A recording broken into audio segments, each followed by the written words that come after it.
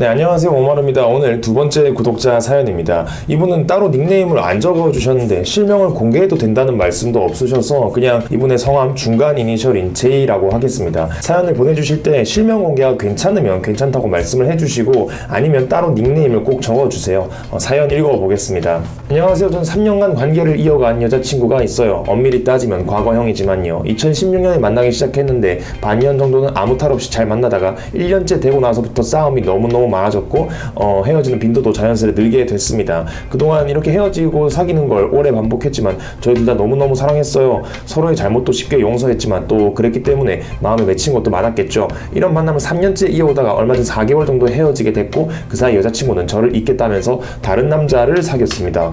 어, 당시에 너무 속상해서 일상생활이 힘들 정도였습니다. 근데 그 남자를 만나면서 제 생각이 너무 낮다면서 다시 저한테 돌아왔어요. 다시 만나기로 서로 결심하고 한 달 정도가 지났을 때 저는 또 다시 이별 통보를 받았어요. 예전엔 제가 너무 좋아서 신경 쓰이지 않았던 것들이 신경 쓰이고 주위 사람들의 말에도 쉽게 흔들리게 되고 이제 제가 예전만큼 좋은 것 같지 않대요. 어, 제 친구들은 어차피 곧 다시 연락 올 거라고 그리고 저를 바보라고 하지만 이게 좋은 게 아니라는 걸 알면서도 전 놓을 수가 없어요. 전 정말 어떻게 해야 할까요? 다른 여자를 만나고 싶다는 생각도 안 들고 그냥 제 자신이 너무 답답해요. 라고 보내주셨네요. 아...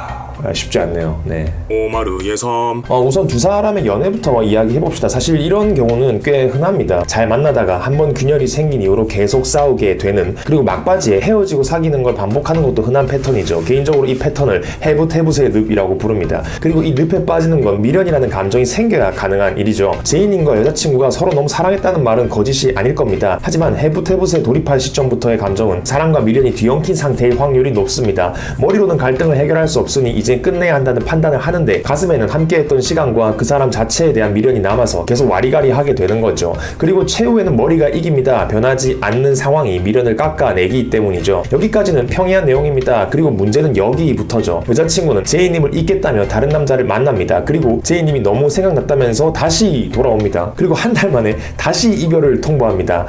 아, 예전만큼 좋지 않다면서 말이죠. 자, 제이님의 여자친구 같은 사람을 보통 나쁜 사람이라고 부릅니다.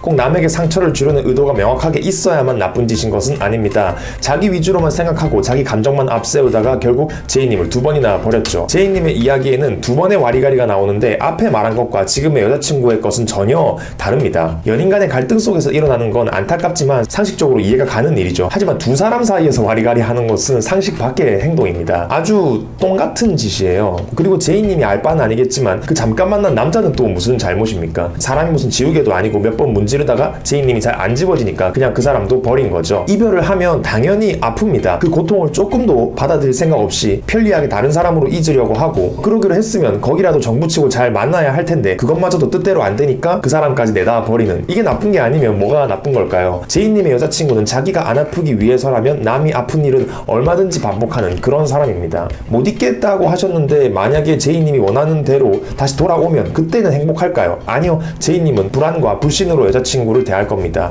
두 번 버렸는데 세 번은 어려울까요?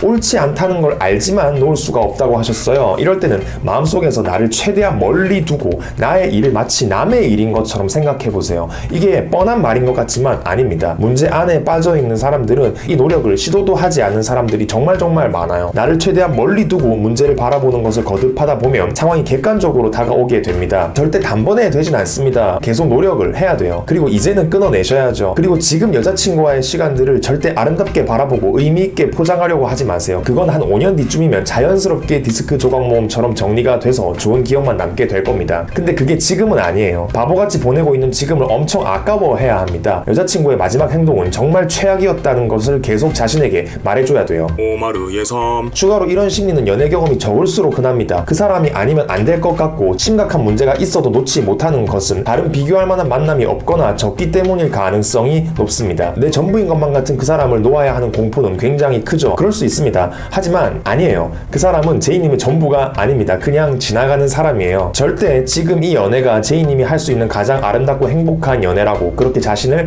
한정하지 마세요. 자기 인생의 값어치를 낮추지 마세요. 새로운 사랑은 얼마든지 찾아올 겁니다. 단 제이님이 그걸 받아들일 준비가 되어 있어야 되겠죠. 어, 조금이나마 도움이 되었기를 바랍니다. 제이님께는 치킨 기프티콘을 메일로 보내드릴게요. 어, 드시고 기분 좋은 하루 되시길 바랍니다. 오마르의 삶 구독자 사연은 이 메일로 보내주시면 됩니다. 사연 작성 요령은 위에 카드를 확인해 주세요. 그럼 안녕!